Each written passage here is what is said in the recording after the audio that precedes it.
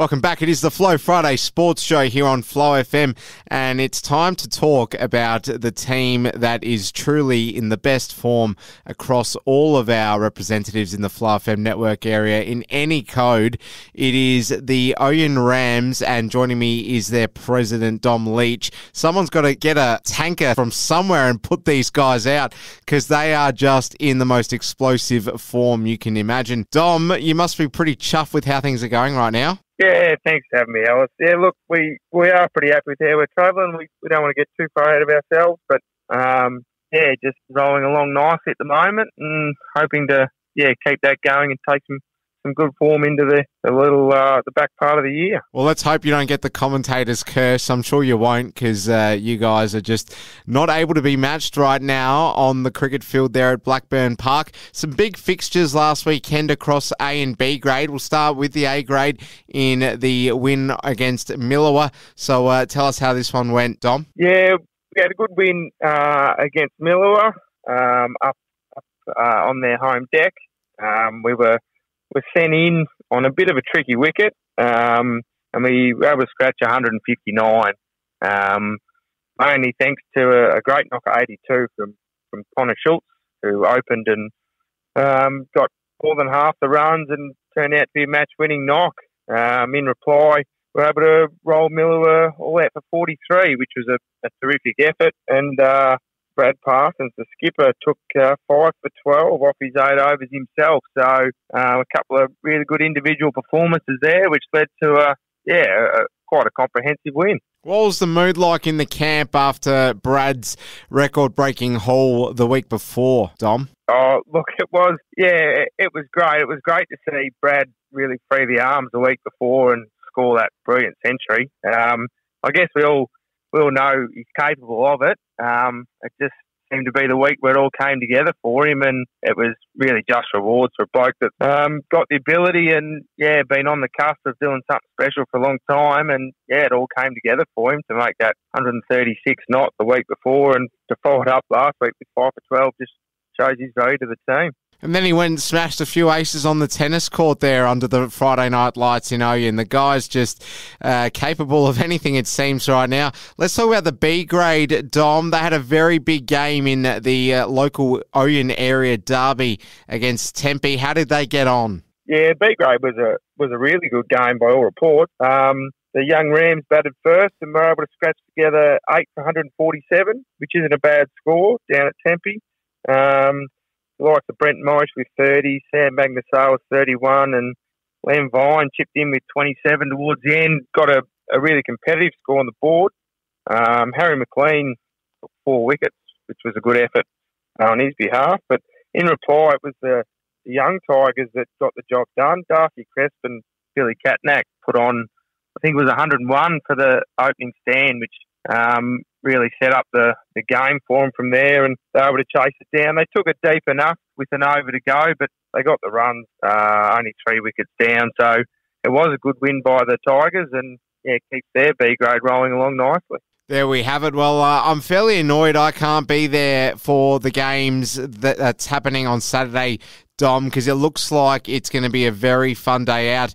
The A grade, it's Tempy visiting Blackburn Park, the Derby, and there's plenty going on. We've got a trivia night happening after the game, and uh, looks like everyone's really excited for this one. So I gather you're feeling no different. Yeah, we are excited. Um, it'll be great to uh, to tackle the arch rivals on our home deck. Uh, both our B grade and uh, Tempy's B grade have got a bye just due to a split round. So should be a really good crowd in attendance um, with both sides uh, reportedly at full strength. Um, it should be yeah, it should be great for people to get along, have a look, and hopefully view some some great cricket and really competitive match. And bring a casserole, by the way, if you are coming along.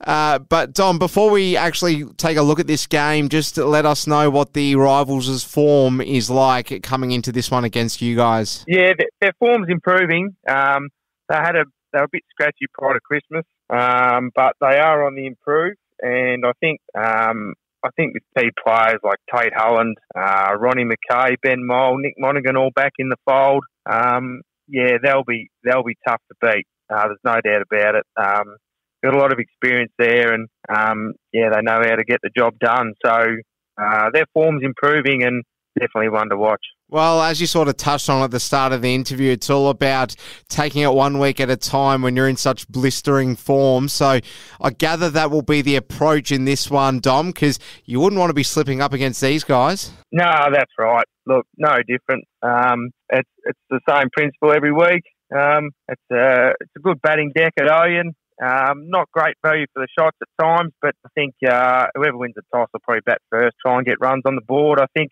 either time, either side, so we're looking to post upwards of 200 and, and put the pressure on the other side um, in the second dig. So either way, um, it'll be uh, it'll be a competitive game. Well, it's going to be an all round, uh, really really exciting day at Blackburn Park. Everyone's going to be having a very good time, that's for sure, irrespective of the result to an extent given that we've got a trivia night happening right after. So just tell us about the trivia night event. How often do these happen?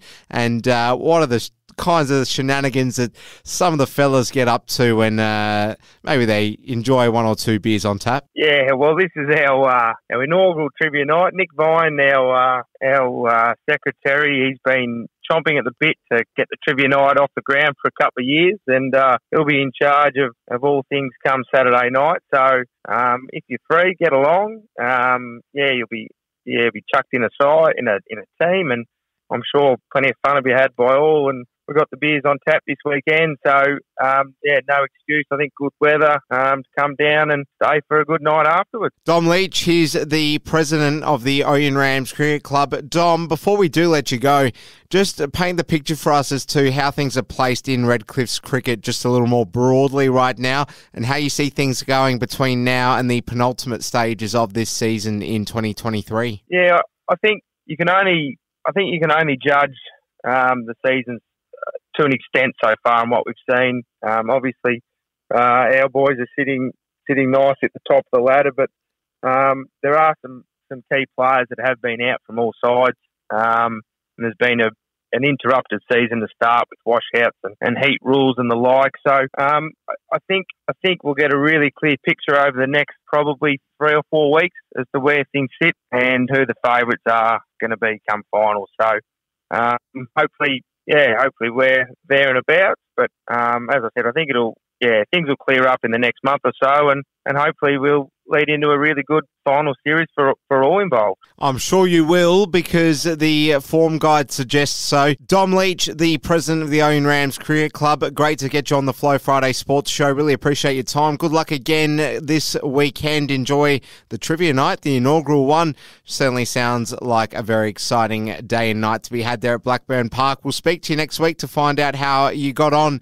All the best and good luck. No worries. Thanks, Alice. Thanks for having me. Dom Leach, the president of the Ouyen Rams Cricket Club. I have no doubt he'd be itching to get out there at Blackburn Park tomorrow and ensure that that great run of form continues for his side. Well, coming up right after this, we're going to air an interview for you with another man in our Flow FM network who's certainly buzzing ahead of what's going to be a red letter day for the Limestone Coast where football slash soccer is concerned. Huge match coming up tomorrow in South Australia in a tournament that can truly pit the very top of the football pyramid in the state against the true essence of community football. So you want to hear all about this? Don't go anywhere. It's the Flow Friday Sports Show here on Flow FM.